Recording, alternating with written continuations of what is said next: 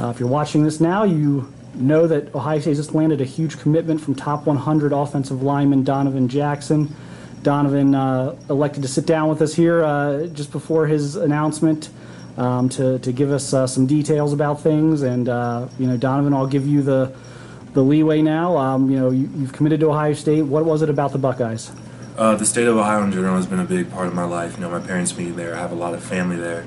But in terms of my recruitment, Coach Stud is uh, probably the I have the best relationship with him.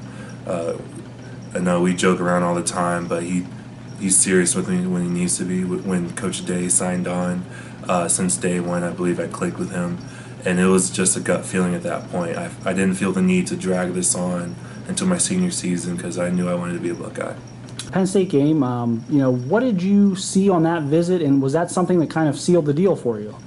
Uh, just seeing how dominant the offensive line was, and seeing how that program is truly a brotherhood. It's not just a uh, a saying. It's those guys in the locker room trust each other, and that's something I want to be a part of. Yeah.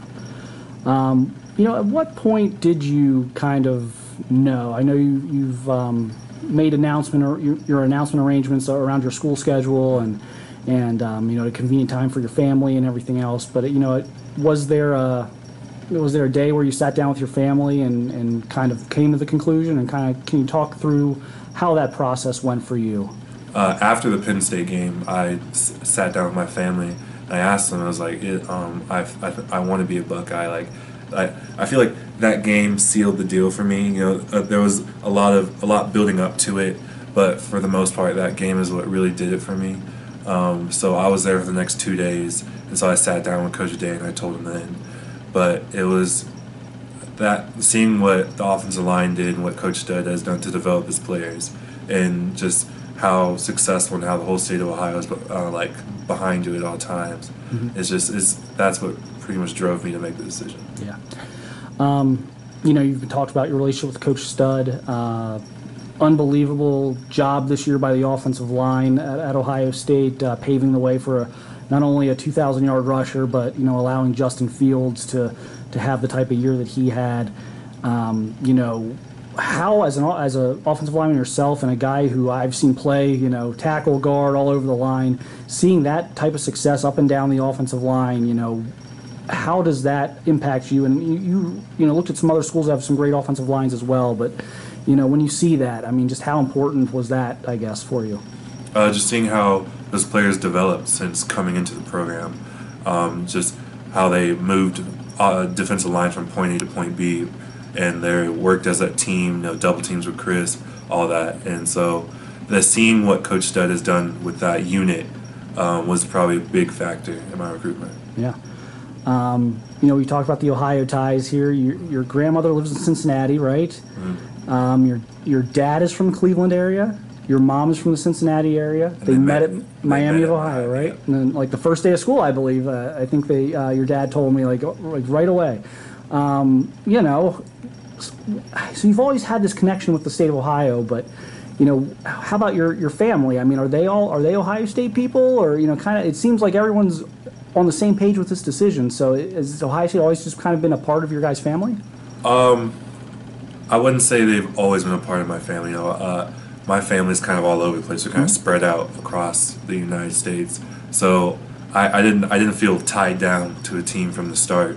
And so when I first started getting recruited, they told me it was like, hey, this is your decision. We'll support you no matter what.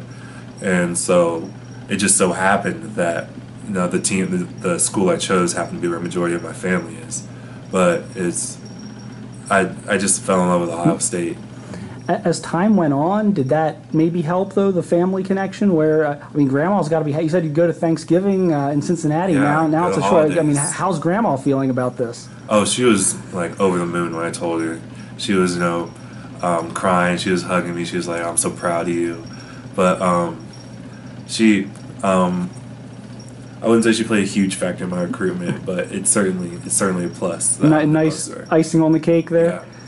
Um, what did you notice? You know, you mentioned the the the fans. Um, what did you notice from the the fans when you were at the Penn State game? Because uh, that was obviously one of the huge games of the season for them, and Um, you know, obviously a great crowd that day. Did you expect that? I mean, I know you've been up there several times, but uh, I think a lot of your previous visits, you know, I think you did a spring game and some things like that. I mean, what what did you notice, I guess, from the environment there that day?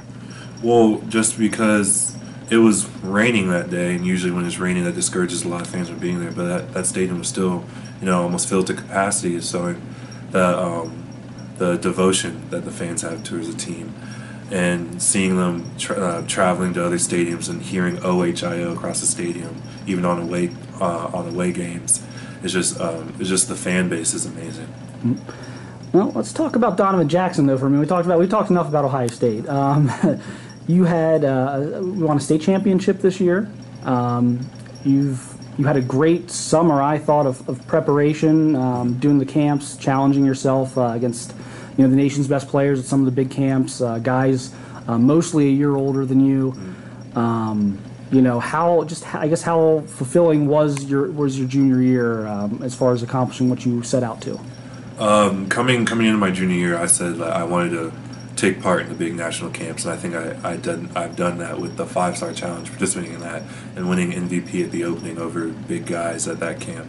And so I pretty much showed that hey, I, I do belong, and I'm not just some name you hear. I actually have talent. But in my junior year, I wanted to show, improve my hand placement, improve the little things to make to make myself stand out. So uh, throughout the year, I just kept that in mind. Like, hey, you, you gotta stand out. You gotta you gotta be different from the rest. And so throughout the year, we did that, and it ended up great with the state championship. Yeah. The one thing I've kind of liked about you, um, just evaluating you at some of these camps, you have I've seen you play left guard, left tackle, right guard, right tackle. So you can you can play outside, you can play inside. It seems like you can play left or right side. What has Ohio State said to you about you know your role? Maybe when you get up there, have they you know penciled you in anywhere, or kind of how you know where do you, where do you think your future is gonna gonna be? Uh, Coach Stud just told me top five lineman play. So it's like if if he tells me to play, you know, left guard, I'll play left guard. He tells me to play right guard, I'll be right there playing right guard. And he tells me to play tackle, I'll be right there getting the kick stance to play tackle. So it, it doesn't matter. I'll, I'll always be prepared to play either position. So you're going to be kind of the Swiss Army knife of the uh, of the class in terms of just kind of fitting in wherever is needed to get the best combination out there. I mean, there's certainly there's been guys in the, in the past at Ohio State that have that have done that. Um, you know, Josh Myers right now is a guy who's kind of bounced from guard and center, and he's a guy that you know can can kind of do all these different things. I mean, how do you look at you know, kind of those guys? You know, are, are those mentors of yours? Have you had a chance to interact with any of those guys? A Josh Myers, a Wyatt Davis, or a Thayer Munford yet? I mean, kind of what's your relationship been with those guys through this uh, process? Um, after I committed, I came out to one of their practices after the Penn State game, and that's when all the guys came up to me, pretty much welcoming me and my family into the basically the brotherhood. And so I'd, I'd had previous interactions with some of them, nothing too major, but having that moment, just just saying hi to uh, basically every offensive lineman, that was pretty great. Yeah. Um, you know, what is Ohio State getting? You know, we talked about your versatility, but you know, if you could sum yourself up in you know a sentence or two, I mean, what type of player do you think uh, you are, and what what, what you're going to bring uh, to the Ohio State offensive line room? I know I, I strive to be the best, and I strive to make the best out of everyone around me. So I always keep my head down and work. I I like to lead, but overall, you're just going to get a hard worker that's just coming in and win. Now, a lot of you linemen are kind of different creatures. Um, you know, you don't get a lot of the maybe the publicity that a quarterback or a running back gets. Um, a lot of, but you always see, for whatever reason, big people, big personalities. I, there's something that goes with it. You you have a lot of uh, you have some interests outside of football, right? Was it music and, and some other things you've done, right, with at the school? I mean, kind of what are some of your other interests outside of football? Because I, I, remember talking to you before about this. You have a pretty diverse uh, uh, list of interests. Uh, yeah, I'm in the band right now. I play percussion. Um, I throw in track and field. I'm pretty good in that. But I think that's about it. I mean, yeah. but so when you on Friday nights or whatever when you guys play, do you participate in the band at halftime, no, or do you just I, okay? Because I've seen that. some guys do that. So you're just yeah. I'm are, are you like football. are you like concert band or whatever? Concert, yes. Okay, okay. What and you said you said percussion? Mm-hmm. Okay. I mean, is there is there a reason? You know, where did the you know what kind of was the genesis of that? And you know, kind of who got you started into that? Uh, my my mom's side of the family is very music musically inclined. I would say uh, so. It, it was always like she wanted me to be like more than just a football player, and so starting out, I just kind of grabbed onto music and then percussion, and then I just kept going through it through high school, and I loved it since.